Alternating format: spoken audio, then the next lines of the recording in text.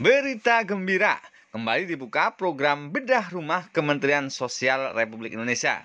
Dan berikut cara serta syarat mendapatkannya. Bagaimana informasinya? Kita simak videonya.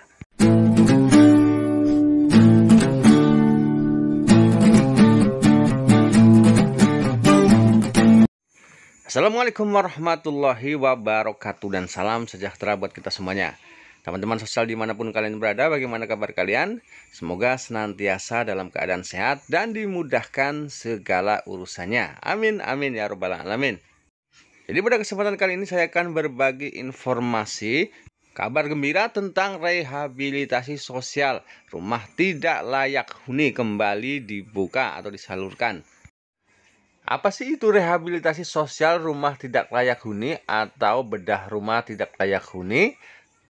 Jadi teman-teman sosial semuanya, program ini merupakan salah satu kegiatan penanganan fakir miskin yang diselenggarakan oleh Kementerian Sosial dengan tujuan untuk meningkatkan kualitas tempat tinggal fakir miskin melalui perbaikan atau rehabilitasi kondisi rumah tidak layak huni dengan prioritas atap, lantai, dan dinding serta fasilitas MCK. RS Rutilahu beranggotakan paling sedikit 5 dan paling banyak 15 kepala keluarga untuk satu kelompok masyarakat miskin yang tinggal berdekatan. Dan RS Rutilahu dilaksanakan dalam satu kelompok dengan semangat kebersamaan, kegotong royongan, dan nilai kesediakawanan sosial masyarakat. Selanjutnya, bagaimana cara mendapatkan bantuan rehabilitasi sosial rumah tidak layak huni ini? Baik teman-teman sosial semuanya berikut tahapan pengusulan rehabilitasi sosial rutilahu atau rumah tidak layak huni. Yang pertama, perorangan atau masyarakat atau lembaga kesejahteraan sosial mengusulkan proposal ke Dinas Sosial Kabupaten atau Kota. Kemudian yang kedua, Dinas Sosial Kabupaten atau Kota melakukan verifikasi dan validasi calon penerima SS Rutilahu sesuai data terpadu penanganan fakir miskin dan orang tidak mampu atau DTPFM OTM. Kemudian nomor tiga, Dinas Sosial Kabupaten atau Kota mengusulkan proposal kepada Direktur Penanganan Fakir Miskin Wilayah 1 dengan tembusan disampaikan ke Kepala Dinas Sosial Provinsi.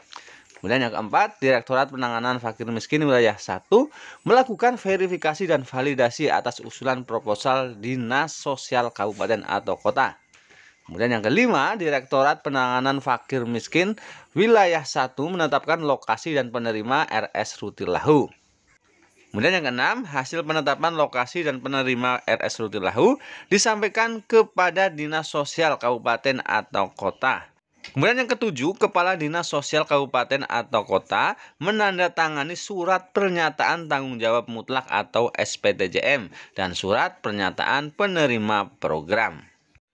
Baik teman-teman sosial semuanya, dalam rangka perayaan Hari Lanjut Usia Nasional, Kementerian Sosial baru-baru ini telah menyalurkan bantuan rehabilitasi sosial rumah tidak layak huni untuk menerima manfaat lansia dan berikut cuplikannya.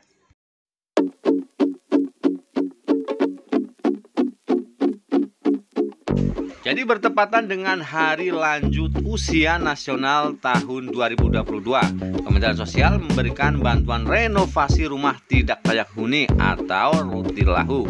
Sebanyak 355 rutilahu disalurkan bagi para lansia di Kabupaten Tasikmalaya, Jawa Barat. Sebelum bantuan diberikan, pendamping program melakukan asesmen kepada para penerima manfaat sehingga bantuan yang diberikan dapat tepat sasaran dan tepat administrasi. Setelah disetujui, bantuan akan dicairkan untuk dibelanjakan material bangunan. Pembongkaran dan pembangunan rumah dilakukan secara gotong royong dengan masyarakat sekitar.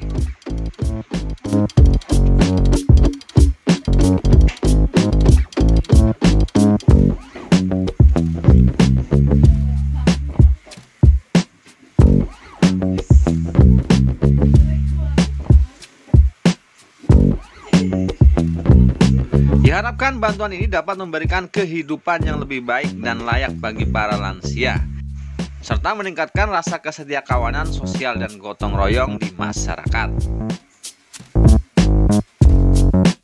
Lansia sehat, Indonesia kuat.